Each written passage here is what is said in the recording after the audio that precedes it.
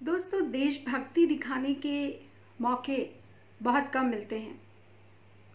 ज़रूरी नहीं है कि हर किसी को हाथ में बंदूक लेकर बॉर्डर पर भेजा जाए देश की रक्षा करने के लिए। कई बार हम देश के अंदर रहकर भी देश को सुरक्षित कर सकते हैं और अपनी देशभक्ति का प्रमाण दे सकते हैं। आज देश में जो एक बहुत बड़ी समस्या आन खड़ी हुई है और पूरा देश इस समस्या से जूझ रहा है। ऐसे में आपको अपने देशभक्ति को दिखाना है। कैसे? घर में रहकर। यदि आप देशभक्त हैं, आप इस देश से प्यार करते हैं, अपने परिवार से प्यार करते हैं, पूरे भारत से प्यार करते हैं तो आप घर में रहिए, सुरक्षित रहिए।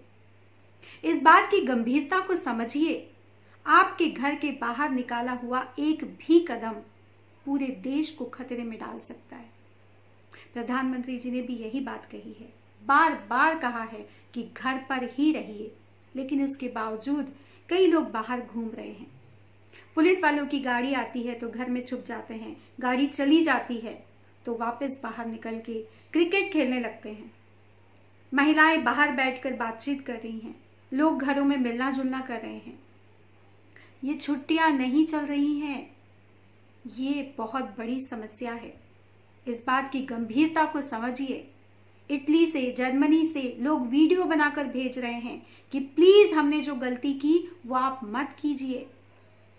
आए दिन इसके मरीजों की संख्या बढ़ती चली जा रही है और आने वाले समय में ये कितना बड़ा रूप ले लेगी, कितना विकराल होगा वो दृश्य हम सोच भी नहीं सकते।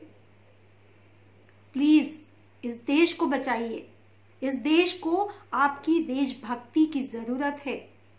यदि आप इस देश से प्यार करते हैं, अपने परिवार से प्यार करते हैं तो प्लीज़ घर पर रुकिए।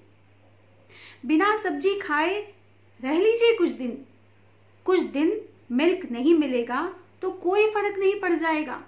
कुछ दिन कुछ सब्ज़ियाँ नहीं खाएँगे, फल नहीं खाएँगे तो आपकी जान नहीं जाएगी।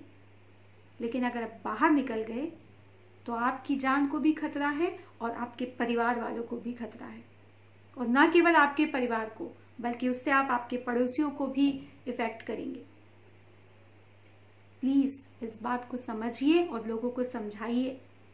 कोई अगर आपके घर मिलने आता है तो उसे कहिए कि दूर रहें, घर पर रहें, सुरक्षित रहें। ये समस्या जब खत्म हो जाएगी, तब हम कर लेंगे मिलना जुलना कर लेंगे पार्टी अभी घर पर